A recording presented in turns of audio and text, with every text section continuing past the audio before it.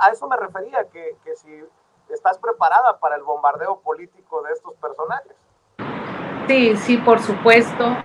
Y efectivamente, mira, es un tema que yo nunca toco porque yo soy ingeniera y a lo largo de mi vida pues me tocó un sector donde el dominio es de los varones, de los hombres, y que la misoginia en nuestro país se asoma, se asoma en ciertos sectores, es parte de, lo que las mujeres estamos eh, luchando por erradicar.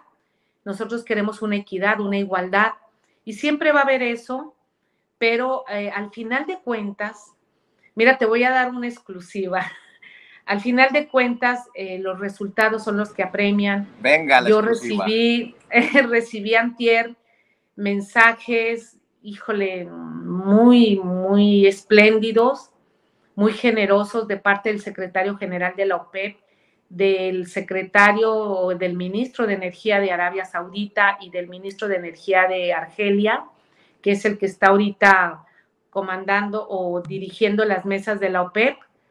Eh, pues unos mensajes, la verdad, eh, muy generosos, reconociendo mi participación al frente en las mesas de OPEP representando a México y me desean suerte y éxito en, la, en el siguiente emprendimiento que, que estoy realizando.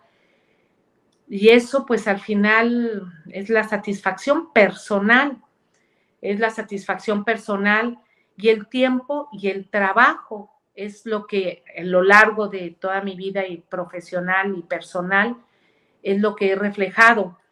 Eh, y sí, como dices tú, lastimamos intereses muy grandes pero al final nosotros, o yo en lo personal, pues eh, mi única responsabilidad era servir a México, servir al pueblo y sobre todo eh, trabajar bajo la guía de nuestro gran líder, del presidente López Obrador, que tiene una fortaleza grandísima, que la visión de la política energética es de él, que la conducción es la de él.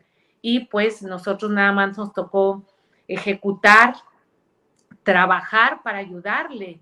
Eh, criticado por estos intereses eh, mezquinos, sin embargo, pues eh, vemos que el tiempo nos ha dado la razón y yo coincido totalmente con él, si no, no hubiera estado en su gabinete.